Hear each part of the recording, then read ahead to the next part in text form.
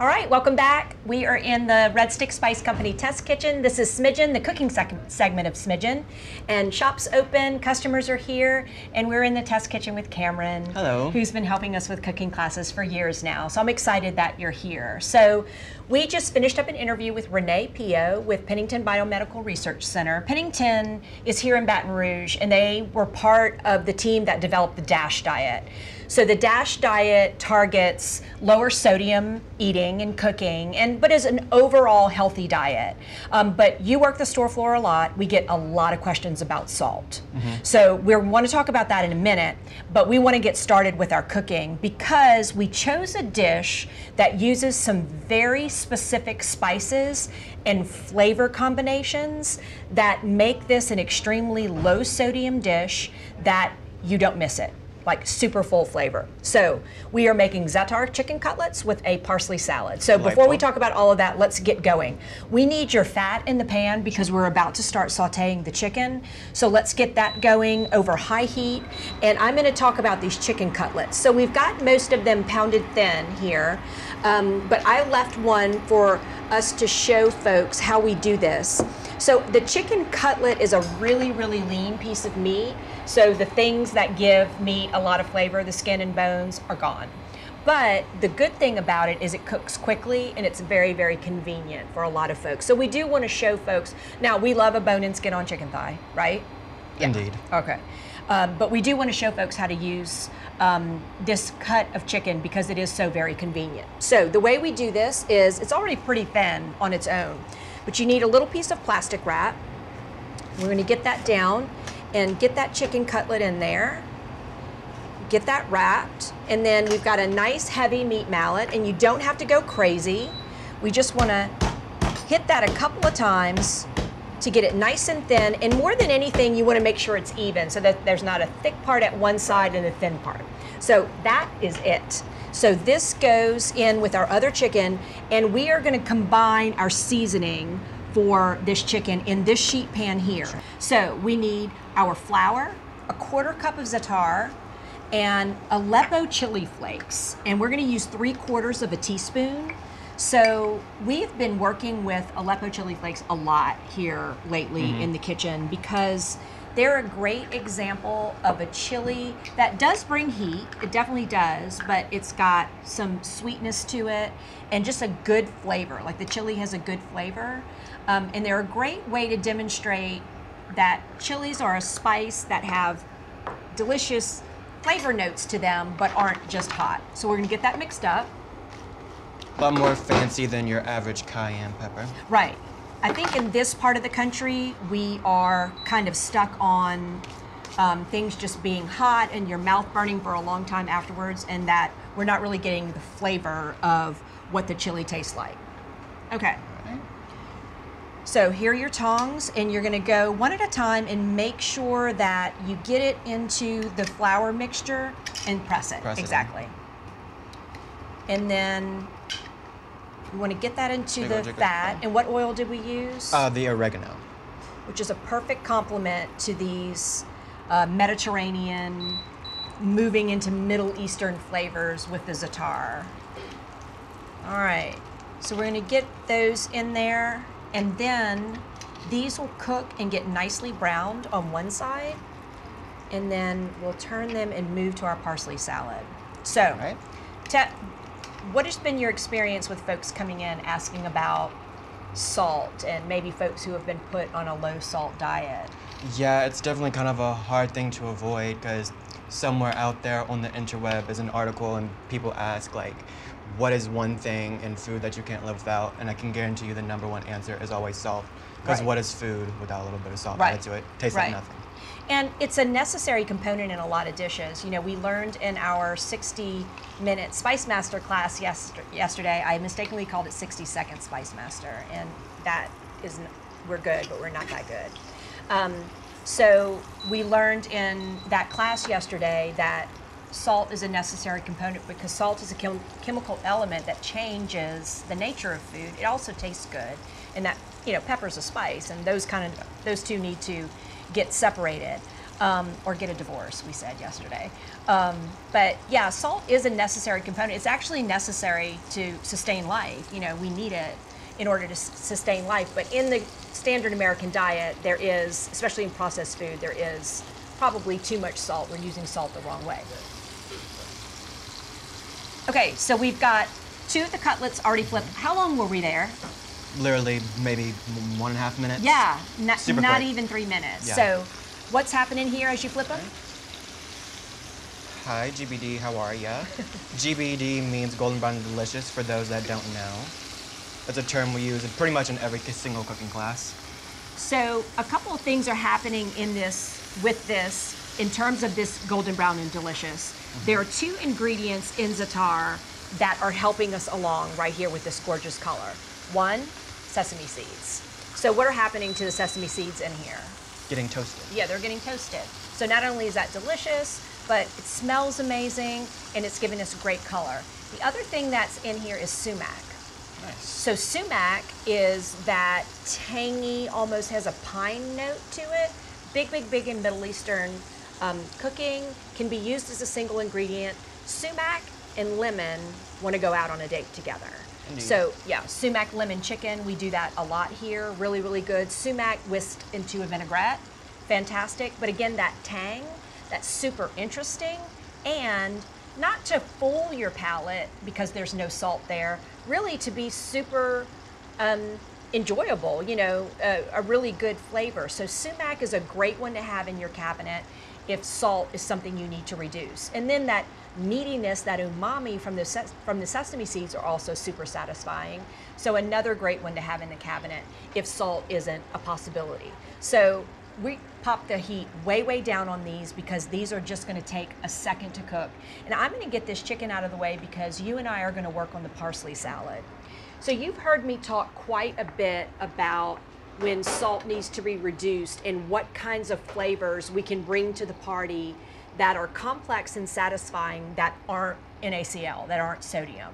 So we've talked about sumac, we've talked about the umami from the sesame seeds. Where else can you get umami?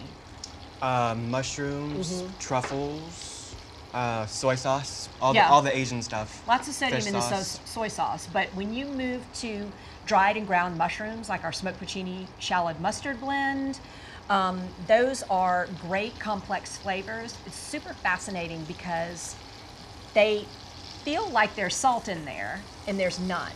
Um, so I'm always interested by that blend. But there's another thing in smoked porcini shallot mustard blend that is another flavor that is really appealing to our palate when it comes to trying to satisfy that saltiness in its mustard. Mustard. So not prepared mustard, not yellow mustard in a uh, bottle, but we're talking about dried mustard. So it's a complex flavor that gives us um, a lot of satisfaction on the palate, and that is a blend that brings all those things into play.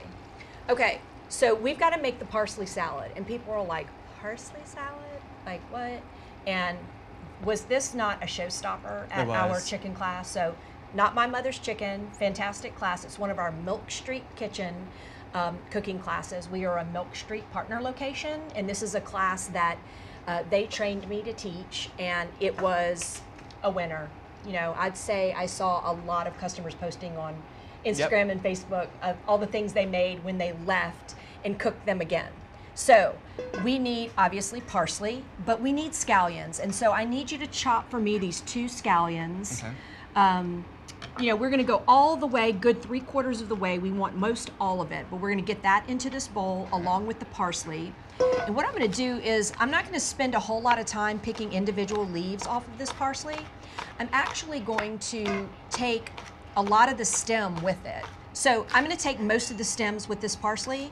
So you know that parsley stems don't ever we either are eating them and using them in spice blend in um, cooking and cooking classes or they're going where? At red stick stock. spice. In the freezer bag, going in stock. yep. So parsley stems bring a ton of flavor and color to stock. And are you done with those already? Oh my goodness. Um, so ton of flavor to stock and they don't go in the garbage can. So all i want to do here i could tear it but i'm just going to run my knife through it a couple of times just to break it down so that it's a little easier of a bite when you go to take a bite of it so these go in our bowl and then go ahead and drop our green onions in, or scallions. Okay. And we're going to save this for our stock as well. So those two, all of that goes into our stock bag. And then, how are our chicken? How's our chicken looking? Looks done Give to it me. the give it the press test, or we feel like it's done. Yep. That's gorgeous. Feels good. Okay. So now we are going to, if you would, squeeze that lemon in here. Ah, stop. Zest it. Zest it. So we're gonna zest it first and then cut it and squeeze it in here.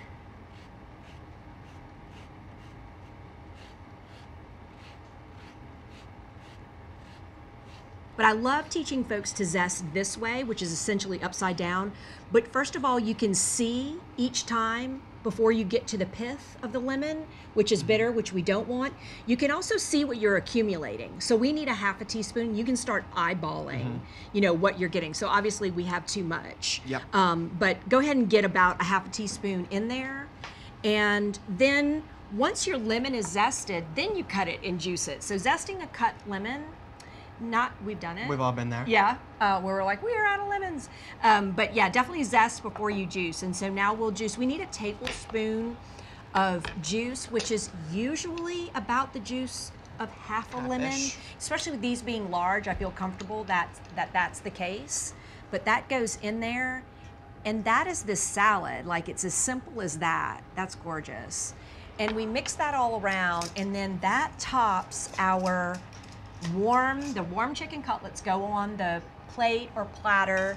Um, we plattered these up at the class, and then the cold salad on top of the warm protein. You know, I live That's for that. thing. Live for that. That warm protein hitting the salad.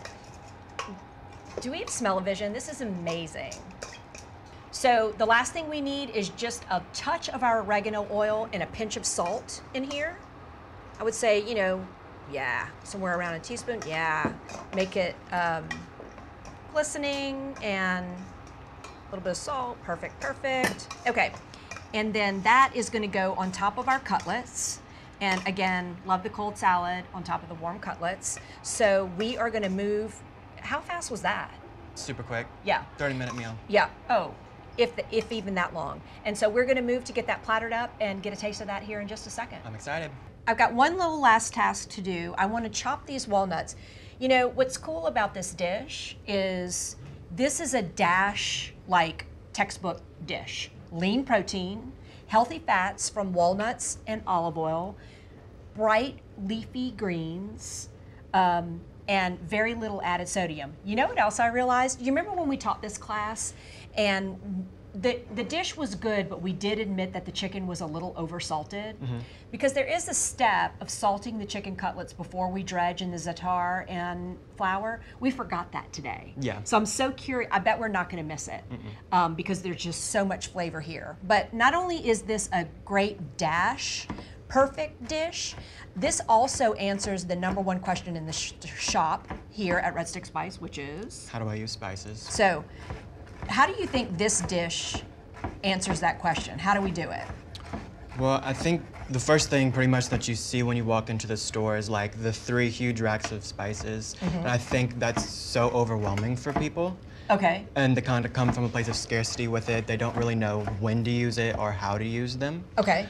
And I think whether that be a cooking class, kind of like the one we had yesterday, where we kind of go over everything you Oh, really need to know Was that the the 60 spices. second Spice Master? The 60 seconds. Or the 60 minutes? 60 Master? minutes, Yeah. for sure. Yeah. Um, I think that whether it be we sign them up for a cooking class or we have an hour conversation with them about Yeah. paprika until they can bring one home that they're going to use. Right. Um, I think we just try to help them and figure out. And this chicken just kind of uses pretty much every type of spice that we have Yeah. in the store Yeah. in all the categories. It's really super complex. Lots of broad flavors here, but all in one spice blend in za'atar. Okay, let's platter up that chicken.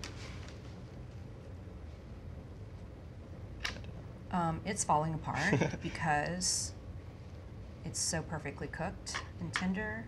So that chicken gets plattered up and we drizzle it with our pomegranate balsamic. So again, another layer of flavor. We're not talking about a ton here.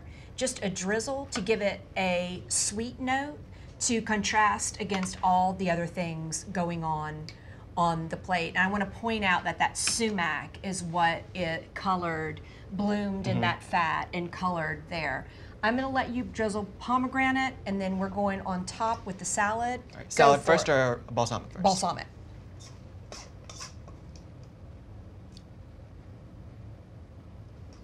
Gorgeous, gorgeous. And then we're gonna get that salad piled up on top. And we're gonna leave a little bit of the salad behind. Um, you can certainly use it all, but that makes it picture perfect. And then a nice sprinkling of walnuts on top. Hungry? Of course. Okay, you ready? All right, I've got these for us. So we'll get our plates ready. Probably don't even need a knife, um, especially a steak knife, probably just a butter knife, but might even be fork tender. So a cutlet, a nice pile of that salad. I see that pomegranate vinegar drizzled on there, yummy walnuts. This looks amazing. All right, let's dig in and see how we did. How, and again, definitely under 30 minutes for sure, For sure. if not faster.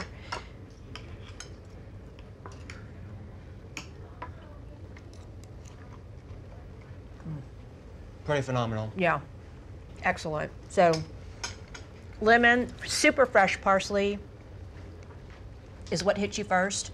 Um, I love the crunch from the walnuts. This is a fantastic dish. Really low in sodium, perfect for dash, but perfect simply because it's delicious. I agree. I look forward to eating the rest. Thanks, Cameron. This Of was so much fun. Thank you All for right, having we'll me. see you guys next time.